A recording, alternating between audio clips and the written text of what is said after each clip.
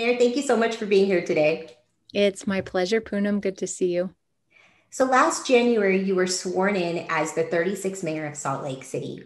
Here we are one year later. How would you describe 2020? Oh, powerful, um, unearthing.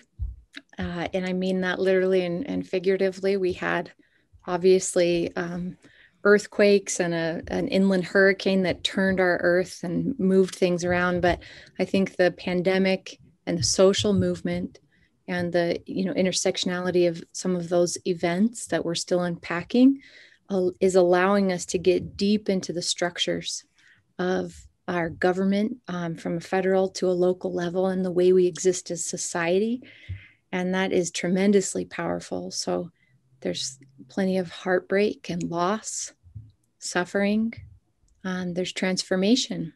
There's been community building and there's been division also across our nation. So it's been a transformative but i would say it's a powerful year most of all.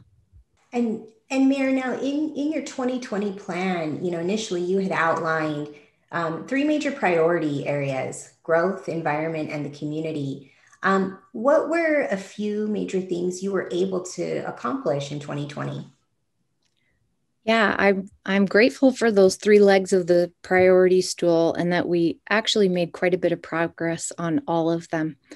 Um, the growth component, we were able to hire someone, Clark Cahoon, who is now leading our tech innovation collaboration with the healthcare industry, um, the health innovation industry, rather, and technology and looking to bring that the benefit of those jobs and those companies into Salt Lake City and really make a tangible connection of opportunity to Salt Lake City residents.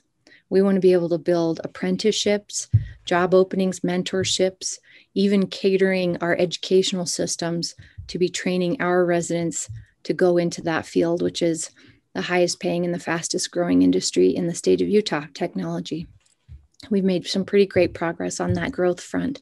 Um, when it comes to the environment and sustainability, we've dis- we've uh, disseminated that priority through all of the departments in Salt Lake City so that every policy decision or finan- major financial decision that any division or department is making is considering what those environmental impacts are and therefore what might be better decisions for us to make as a city.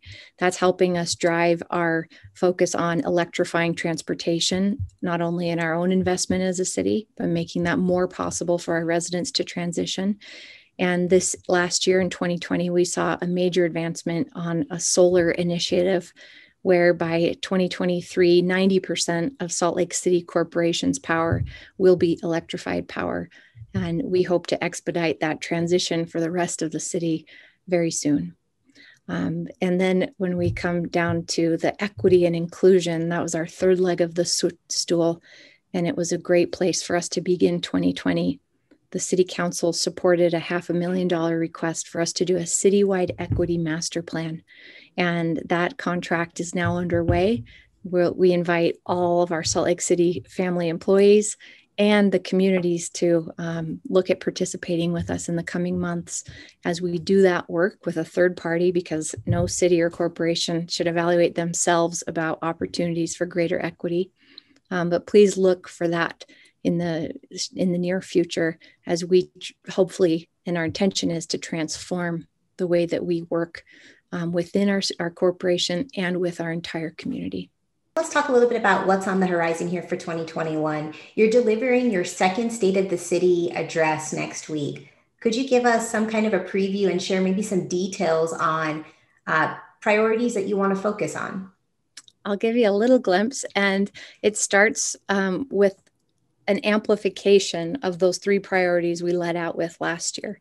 Equity and inclusion is has got to be there and it also needs to be amplified into our city business into our work with our own employees we have over 3000 employees in salt lake city corporation and we have been learning and listening and then trying to support our diverse employee workforce in ways that they need from trainings um, to mental health support and different kinds of leave. It's been a tremendous year. So you're going to hear more about supporting our own employees. And I think I hope that will be a comfort to our Salt Lake City residents and businesses. As you mentioned, we have been just killing it on our services. Even on Earthquake Day, we didn't miss a garbage pickup. I mean, that's amazing. And that day was riddled with aftershocks. So we've kept our public services going, and we need to support those people who've been doing so amidst hiring freezes and tremendous social, environmental, um, health difficulties. Uh, we'll keep going with connecting our residents with the opportunities of growth. And when you look at the economic portfolio for the state and Salt Lake City over the last tremendous year, you see that construction has continued to grow. At sometimes it was at nine or ten percent growth, while every other sector was in the red. Um, Salt Lake City is going to keep growing. Those high rises are going up downtown right now, and there's more in the pipeline.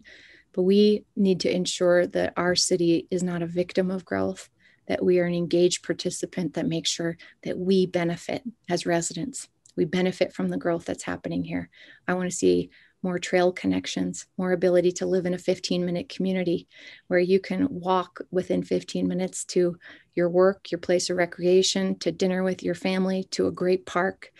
And these are the opportunities that we're looking for in 2021. I can't wait to give you some details at the state of the city. And Mayor, in terms of engagement, how can residents learn more and stay connected with you and your team?